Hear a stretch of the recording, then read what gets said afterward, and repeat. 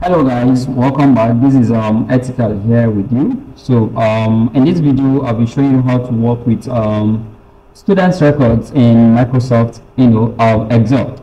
All right so without wasting time as you can see i'm already in the excel. So i'm going to create a very simple um table um records of students. All right so let me increase let me zoom so that i'll be able to see what i'm doing. All right so i'm going to start with um serial number okay so um we have student name. I'm going to have name. Let's assume we have test one test two.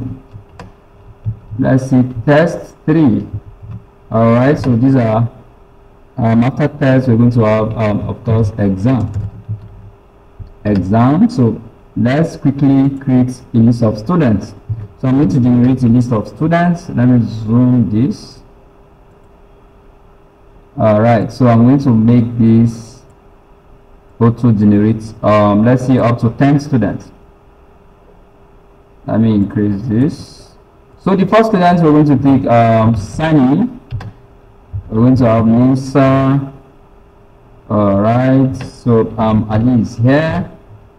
Yunus. Then um john. Let's see miriam. Okay let's see we have edits. We have joy. We have um a male student. Let's see. We have um let's see aisha. Then the last student let's see abbas. All right so these are the names of our students. Now we're going to generate a test score for them? Or the test is going to be over let's assume the test is over 10 so i'm going to give them random scores all right okay so these are just random scores. We're generating these scores to be able to you know um use for this practical. So let's go. That is test one. Now for test two we generate random numbers for them. Let's see 8 3 5 6 2 9 6 4 let's see 7 all right so that's for test 2 now let's go to um, test 3. We have, um, let's see, 4, 8, 2, 7, 6, 5, 9, 3, 7, 5, and 8.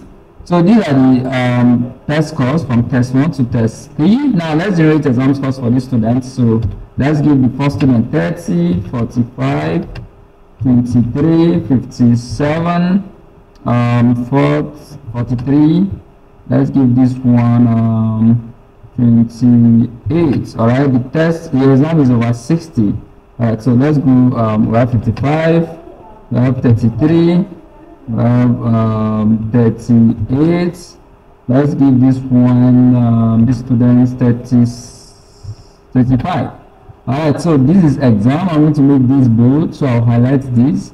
Um let me make it bold okay so we have exam we have uh, so we've generated you know list of students with their um, scores. Now let's find the total here. We're going to look for the total of this um, the total grade the total score for each student. Then we look for the minimum that is minimum all right after minimum we look for the maximum.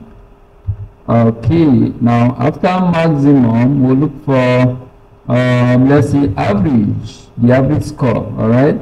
Then after that we'll look for the um, let's see grade. Okay so these are the stuffs we need these are the things we need to look for. You know we need to calculate all these grade for each of the student now i'm going to um, i think grade is the last one. I'm going to make this um, background color blue and i'm going to change the font color to white okay so as you can see this is how it looks like. Let me zoom in for you to see. All right so let me um, add a new rule at the top. So i'll just right click on this rule. I'll click on insert. Now i want to add a rule here. I've added a rule. I'll merge it. Then i'll just type in i'll give you the heading students let's say students records. Okay? Students record Alright, so I'll also make the text color white. I'm going to make the text color white and the background color blue. Okay, so I'll also make this bold and I'll increase the font size a little to something like 14. Okay, so um, let me bring in the um, border colors, sorry, the border line. I want to bring in the border line, so I'll highlight the complete area, then I'll come to borders. Under borders, I'll select all borders. Alright, so as you can see, um, we've added borders. Now, okay, we need to look for the total of each student's record, okay, each student's um, score. We're going to add test 1, test 2, test 3, and the exam score to get the total. Alright, so without wasting time, let's do that. So every, you know, um, formula in Excel starts with equal sign. So I have equal to, let me zoom in so that I'll be able to, you know, see what I'm doing. Alright, so, so for total, I'm going to have equal to, then I have sum, SUM, okay, this is the formula to look for sum. Now I need to tell the system from where I want to start my calculation. So my uh, I want to start my calculation, my addition from C3. You can see this is C under the column of C, then row 3. So this 5 is on C3, okay? So I'll take in, I'll type in C3, okay? I want to calculate from C3 to F3, okay? That is where the exam score is. So I'm going to add this F3. You can see those rules have been those cells have been highlighted so I'll just close the bracket and I'll press enter as simple as that so you can see we have gotten you know the total score for the first student so I need to I need to auto fill the remaining scores all right so I'll just drag and of course release to get you know the total score for every student now let's calculate for the let's calculate the minimum score for each student now I'm going to calculate from test 1 to, of course, the exam score. We're going to get the minimum score from test 1 to exam. So to start with, let me zoom so that you see the, what I'm doing. So I'm going to have equal sign to calculate for minimum. The formula is very simple, so you can type in equal sign, sorry, min, M-I-N, okay, then the open brackets, then the cell address, which is what? We're starting from C3, that is where 5 is. So I'm typing C3, so we're looking for the minimum from C3 to um, F3. All right, so I'll type in F3, then I'll close my brackets, then I'll hit enter. Of course, the minimum score between um, 5, 7, and 5, 7, 4, and 30 is of course 3. So I'll just autofill this. I'll click and drag to get the minimum score of the remaining, you know, students. Now let's go to the next one that says maximum. All right, so let me expand this field, the um, column. So for test, for the maximum score, I need to, let me just expand this so that you see what I'm doing. Now I'm going to start, um, of course, for maximum, the formula is equal sign. Then we have, sorry, max, M-A-X for maximum.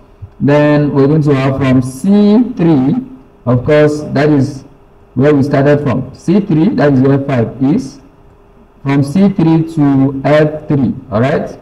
So 2, you just add column to tell the system that you're trying to get from a particular cell range to the next one, which is what? F3. Um, 3. so I'll just close my brackets and I'll hit enter. You can see the highest score there is what? The highest score is 30. So I'll just click to autofill the remaining, you know, uh, records, the remaining for the remaining rows. So you can see we've gotten the maximum. Now let's look for the average. This is very simple to look for average. There is a there is an inbuilt formula to get this done. All right. So for average, let me zoom. For average, we'll start with equal sign. Then we have average, just like the name implies. So average, we open our brackets. Okay. So average to get average is just the total score, the total score divided by the number of items, right? So, but there is an input formula that we can use to achieve this. So we have the formula is equal sign average, then um, we have the cell address C3, sorry, C3 to um, C3 to what? Um, exam is F3, right?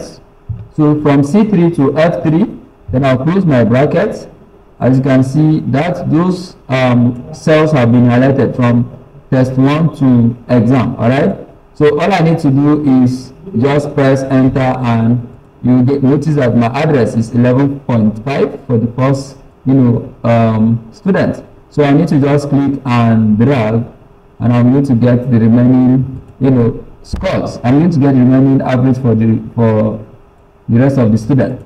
Now the next one is what we need to calculate for the now before you calculate for grade you need to have you know um, a threshold. You need to have a benchmark for each grade.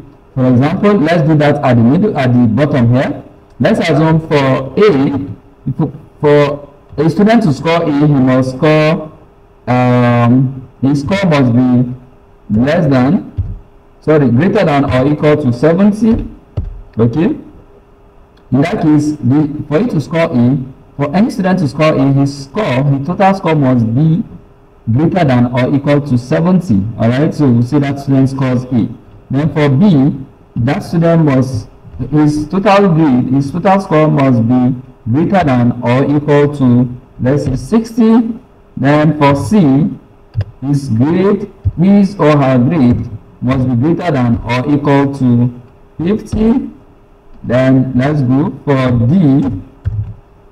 His grade must be greater than or equal to um, 40 then we can see else that student has failed that particular course. So any score that is less than 40 we see that student has um, so going to have 40 it means that student has failed that particular course.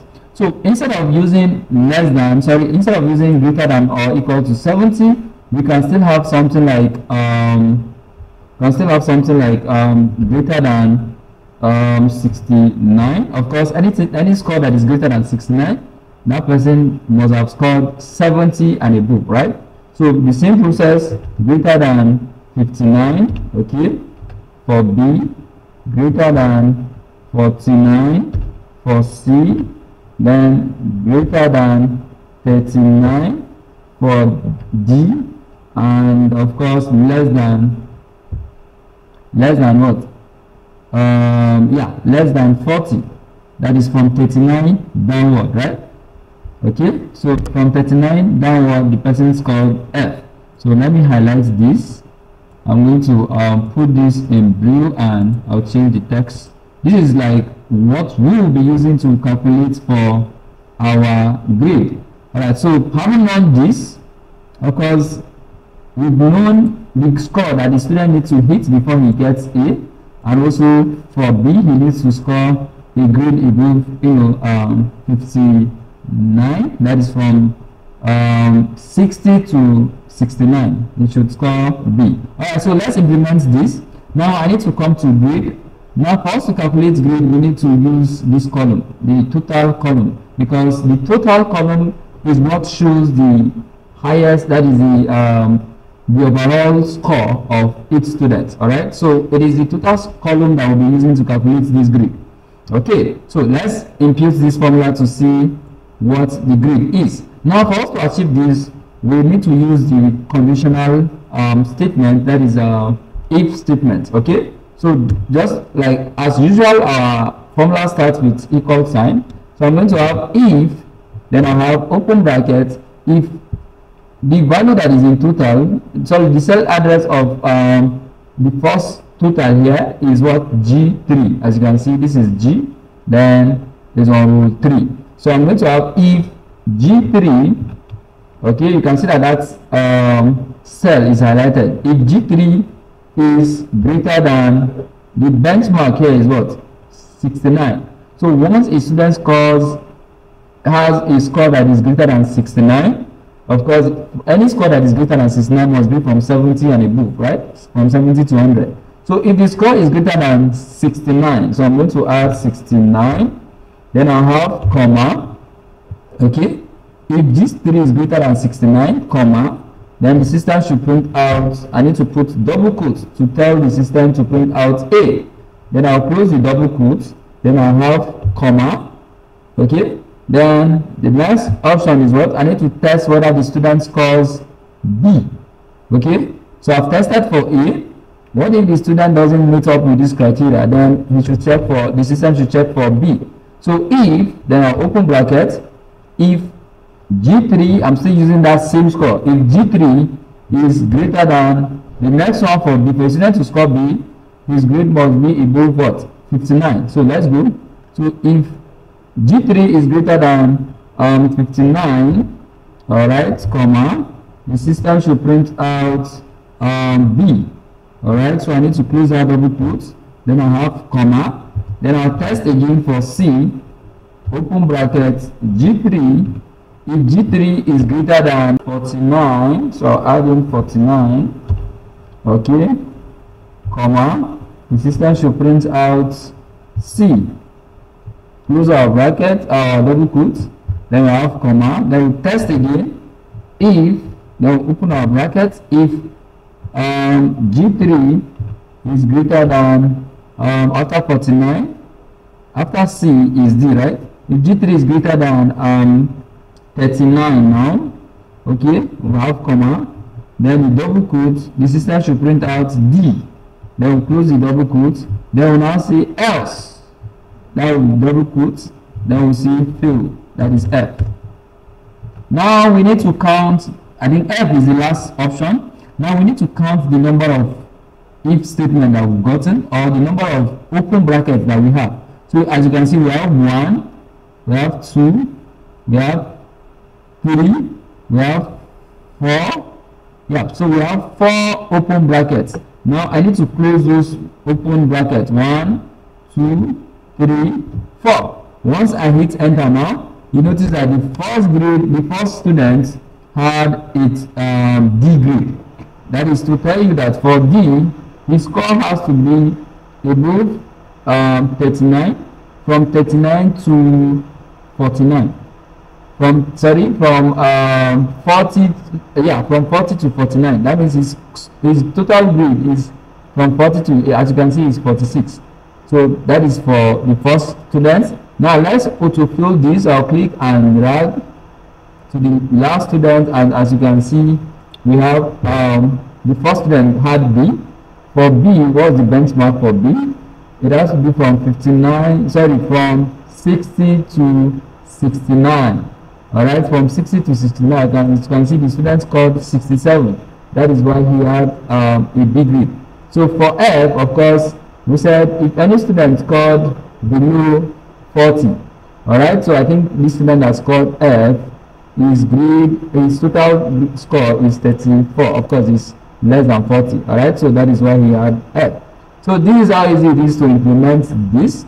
And um, not only alphabet you can use you know um, words or strings also instead of alphabet for example let's say for um, what um, for A we can actually change this from A to something like um, let's say we want to add excellent instead of E. So we can have something like excellence. If I hit enter now, you notice that we have excellence. Alright, so instead of A, we'll be having excellent. Now you can see if I drag over this now, on this, you notice that um, A has been replaced with excellent. Alright, so this is how simple it is to calculate, you know, grade in Microsoft um, Excel. Okay, so um, if you have any question, you can do well by you know asking me in the comment. Just ask your question in the comment section, and I'll be super happy to answer your questions. All right.